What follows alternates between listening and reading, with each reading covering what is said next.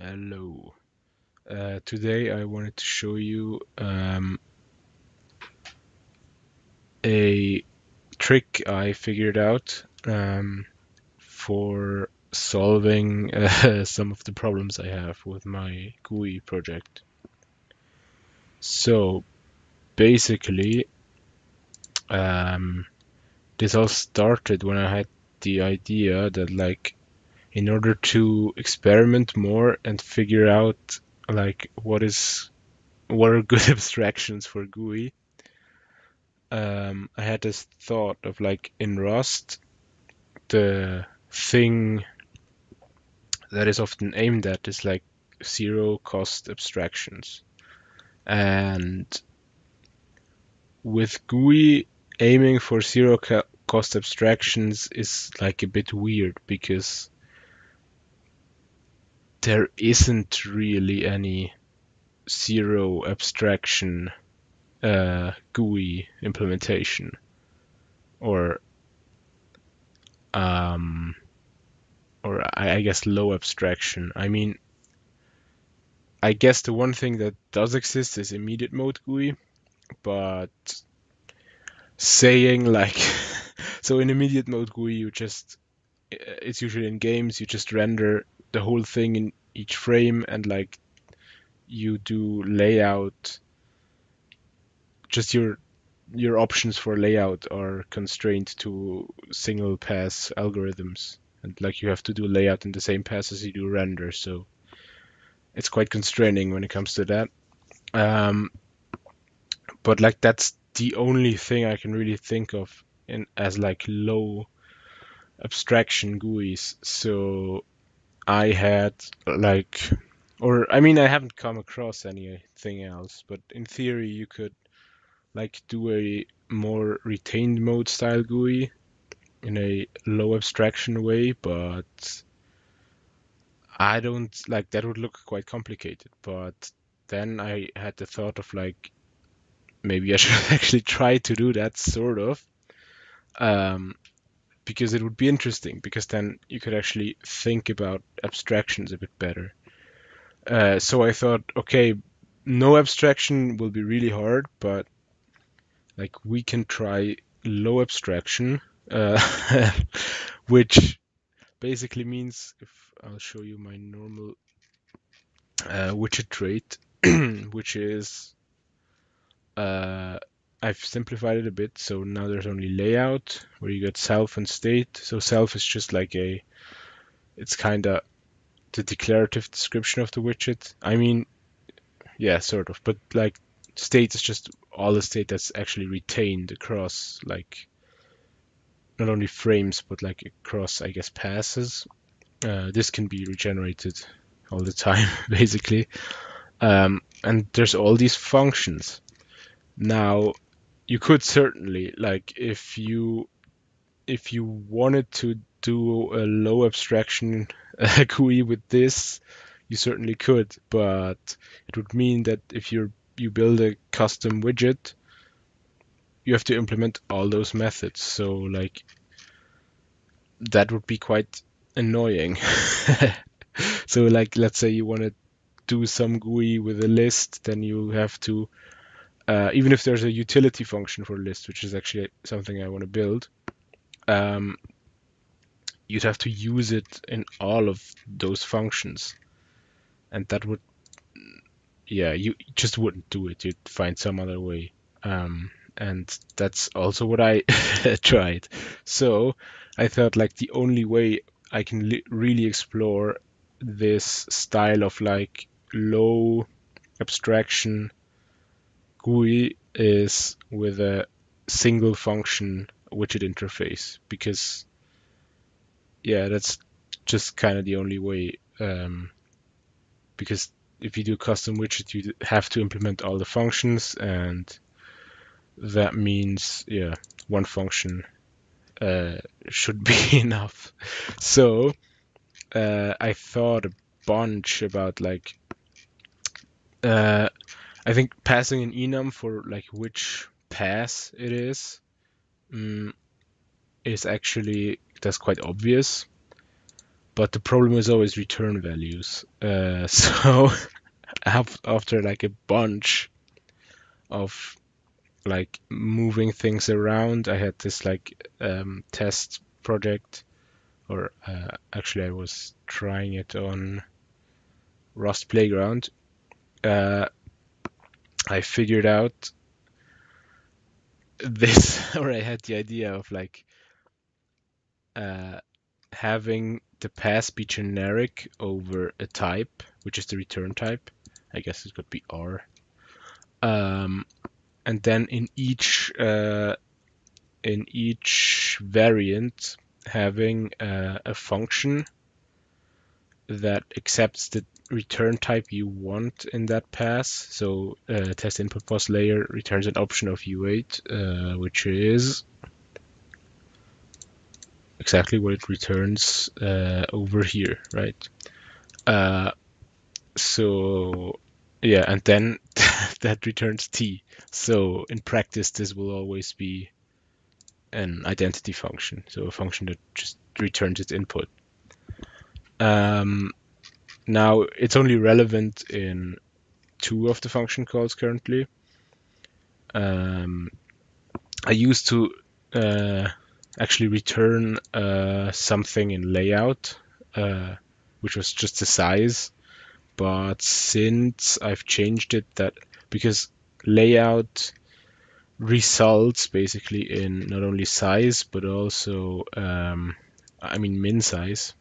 You can actually then change your, or render it larger than what it returned, but also extra layers. So you could either return both of those but you also always need a way to actually get them uh, afterwards um, because you don't want like the container to also have to store them because that would just be redundant. And so I thought let's just return nothing here um, and have it always basically ask. Um, I'm not like totally set on that. Um, I might change my mind. I think in some cases it could be more elegant to just have it returned. Uh, but yeah, I don't know. So basically, I mean, it doesn't make a huge difference, uh, but it just forces uh, forces the function to actually return something. Uh, and like because these could be uh, like the other option when using an enum would be either mutable references but then like they need to be initialized with something. I guess in th- this case it would just be none. And in this case, there's also like this could be false, um, but it's just a bit ugly. Um, and yeah, uh, the other thing would be yeah, an fn once that accepts the value that's just passed in with each variant, but like nothing forces the function to actually call it. So uh, that's like making every return type an option, kinda, and that's also not so cool. Um, so yeah, so now I'm doing this. Uh, now, of course, this isn't great either, because um, these are function pointers and they're not free. Uh, I mean, they're not very expensive either, but uh, each of those uh, is a pointer to the actual place where the function is in memory, the function code. Uh, and yeah, if you're actually using um, closures, usually you don't need to actually pass pointers around because everything's generic or your closure type.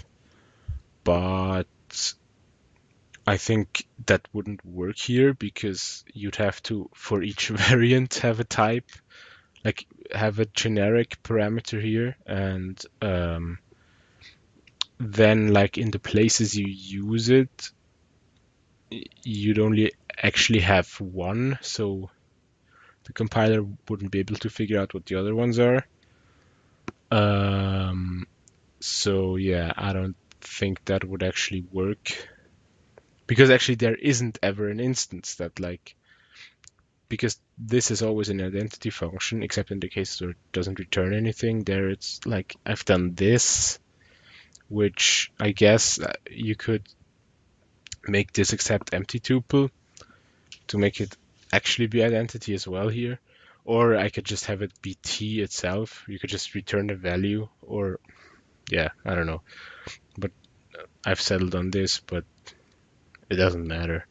Um, so yeah, th- this isn't free, uh, and like the problem is also, except maybe in some cases, I don't think the compiler can optimize this well. So like there will still be enum matching code generated.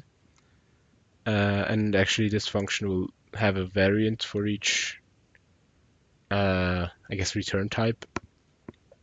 Um, and so, yeah, this isn't like code generation wise, this isn't optimal, but type system wise, it's quite nice.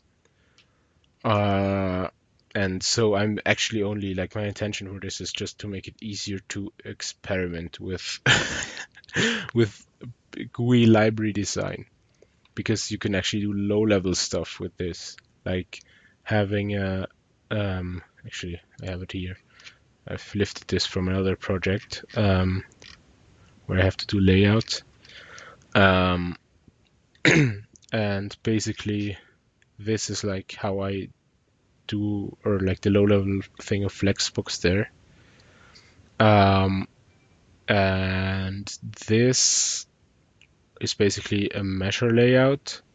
So uh, what you do is like when building up a Flexbox like thing, you create this with like what's the uh, width can be unconstrained if it's none. Also has a gap thing. Um, and then you like you call add for expand with fractions or fixed with this can also be measured like this will be measured when you actually use it.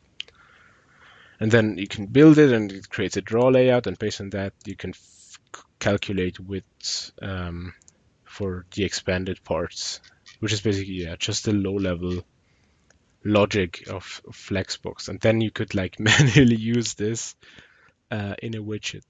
But yeah, I'm not actually sure if I'm going to utilize this in that way, but I also figured out that you can use this uh, for stateful widgets.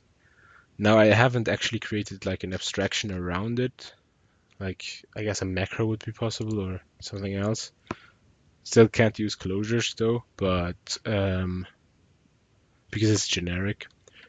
Uh, but I've rewritten the dropdown such that um, it, yeah the dropdown used to be I have this this other uh, dynamic stateful widget which actually uses a similar enum thing where it actually where returns are actually options. Uh, I, I'll yeah I'm I'll probably replace this um, uh, where you oh actually let me am I still using that somewhere? Uh, find find all references. Ah yeah I'm using it here. Uh, where you basically you get it in a handler and you call dot widget on it with a widget uh, and then it like with uh, in a box it has it creates a state for it and like with within any type. So it's like quite dynamic which is not something I like. But uh, this yeah that's what I did to make progress with stateful widgets but in dropdown I replaced this with uh, with uh, one of those pass widget things um, it's a bit ugly. I try to uh, use uh, what are they called? Um, like those generic, no, not generic. Um,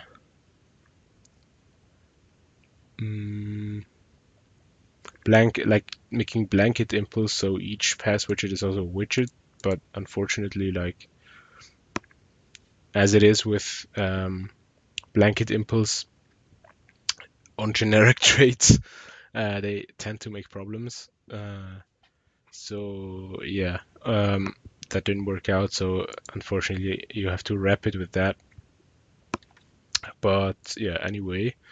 So with this it's possible to like this is the state. No this is this isn't the state. Uh this is the state. Um it's either open and it has uh, open or not and it has a widget state which is just the state of uh, of the inner thing uh, it's using which is pop-up.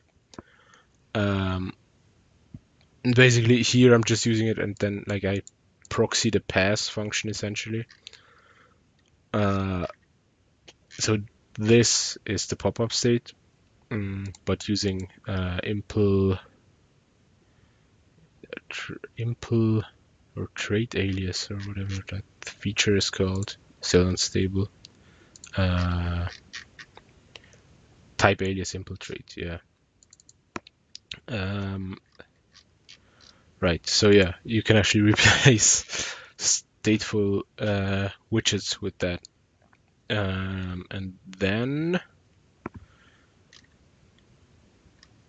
yeah, so that's I I like this a much better than uh,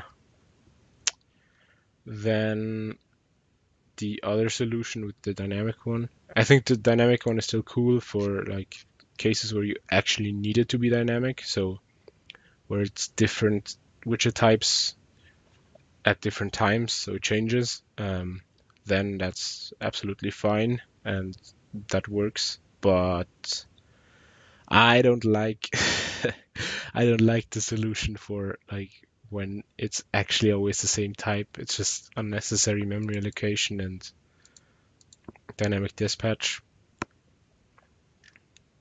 no, it's not actually dynamic dispatch. Uh, no, but it's just unnecessary memory allocation. And like using it any type and so on. Uh,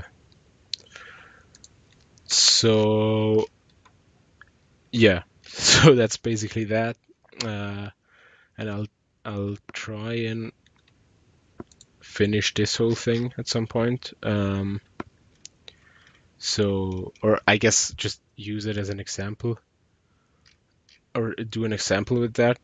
That could be quite interesting. Um, maybe I'll actually implement some GUI with like just low level things, um, like without having these like really abstract things I have here, like um, where I uh, right like use this flex content macro uh, just to manually manage the state of all the widgets. And yeah, that should be interesting and maybe give me some insight to uh, like how to abstract widget library better. But I mean, it's actually weird because I'm trying to figure out what is a zero cost. I mean, I I'm guessing I'll never like can't get to like truly zero cost GUI because it's just like too complicated of a subject to like really abstract properly without any cost over what like would be an optimal manual implementation. But uh yeah like it's interesting because i'm like trying to derive a low cost GUI abstraction by using this like kind of high cost structure of like passing function pointers around with a generic function, but yeah, I'm hoping it'll be like a good step on the way of figuring out or gaining more insight on the subject. So, yeah, that's basically it. See ya.